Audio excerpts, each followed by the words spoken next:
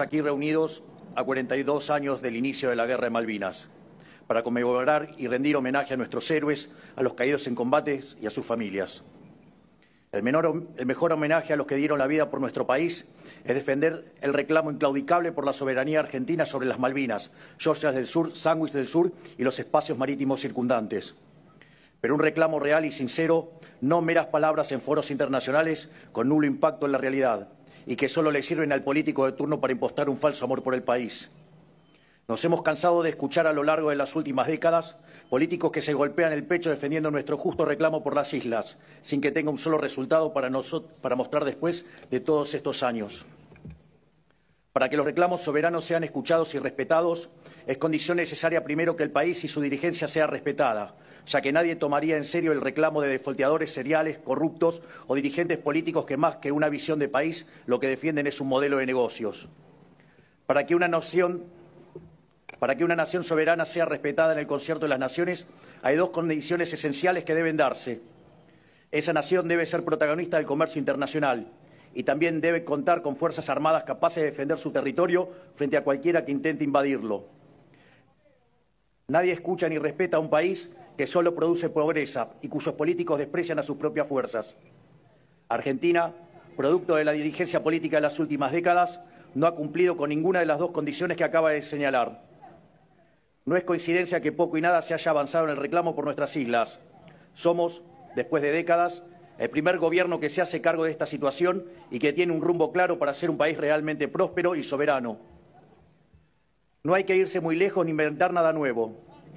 Hubo una generación de dirigentes en nuestro país que hoy recordamos como la generación del 80, que consolidó nuestra soberanía territorial y nos marcó el rumbo para cumplir tamaña tarea. De esa generación, la principal inspiración para nuestro reclamo de soberanía es el gran general Julio Argentino Roca, el padre de la Argentina moderna,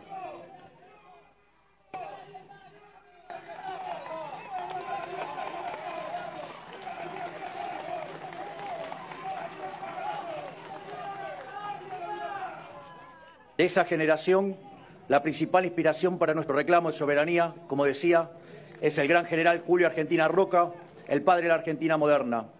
Él comprendió como nadie el mandato de una economía próspera y de unas Fuerzas Armadas respetadas como base de una nación grande. Este 2 de abril, y en homenaje a nuestros veteranos y sus familias, tenemos que retomar su ejemplo. Argentina es el octavo país más extenso del mundo tiene soberanía plena sobre nuestros más de 3,5 millones de kilómetros cuadrados, requiere de una economía pujante y vigorosa. Una economía que genere riquezas y oportunidades en cada rincón del país. No existe soberanía sin prosperidad económica y, como muestra toda la evidencia empírica, no existe prosperidad económica sin libertad económica.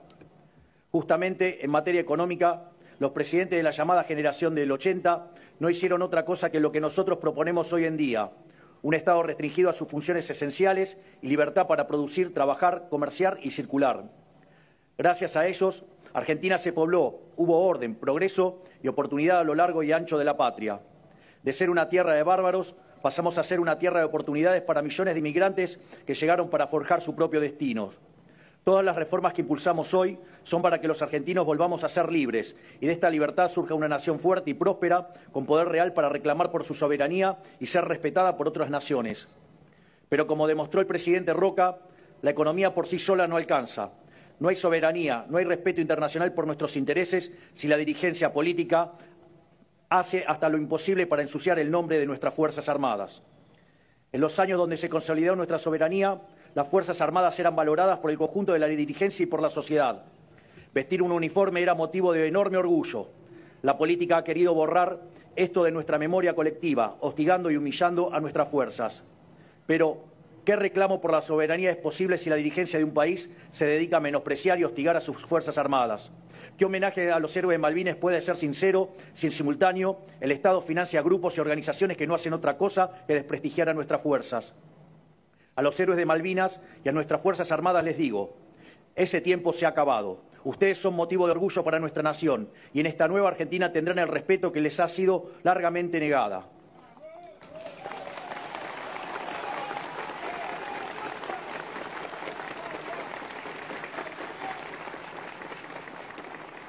Pero además, no quiero que el respeto a las Fuerzas Armadas y a los héroes de Malvinas sea monopolio de un espacio político. No, nuestros militares y veteranos se merecen algo más grande y duradero que eso. Por eso convoco al conjunto de la sociedad y a la dirigencia política a que este 2 de abril inauguremos una nueva era de reconciliación con las Fuerzas Armadas que trasciende a este gobierno. Una era que rinda homenaje sincero a sus héroes, dándole a las Fuerzas Armadas el lugar, el reconocimiento y el apoyo que se merecen.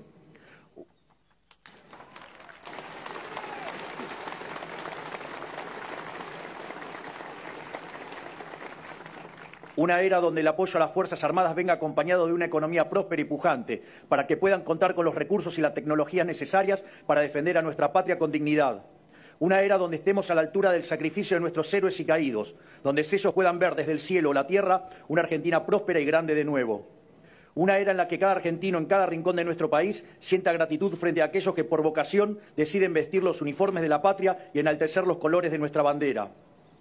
El primer paso de esta nueva doctrina lo daremos el 25 de mayo en la Docta, en la provincia de Córdoba, donde firmaremos el Pacto de Mayo, estableciendo las diez políticas de Estado del nuevo orden económico argentino. Y para el que quiero extender una invitación especial, no solo a los miembros del Estado Mayor Conjuntos y las Fuerzas Armadas, sino también a las organizaciones de veteranos de Malvina para que sean testigos y estandartes de la nueva Argentina.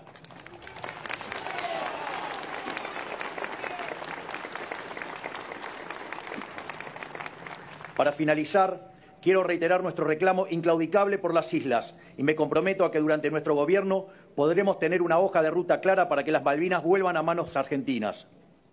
A los veteranos, a sus familias y a todos los que visten un uniforme en defensa de la patria, quiero agradecerles su servicio en nombre de todo el pueblo argentino. Que Dios bendiga a los argentinos y que las fuerzas del cielo nos acompañen. Muchas gracias y ¡Viva la libertad, carajo! ¡Viva la libertad, carajo! ¡Viva la libertad, carajo!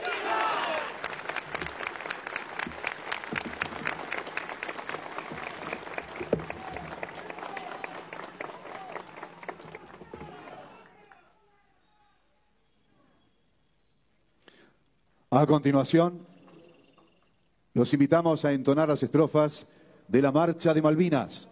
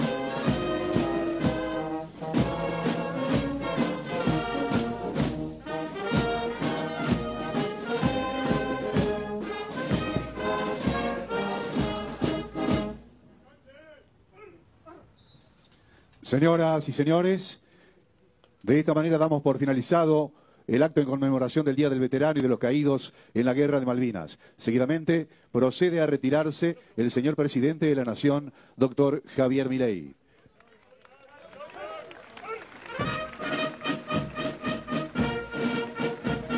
A todos, muchísimas gracias por su presencia. Que tengan una excelente jornada y hasta siempre. Buenos días.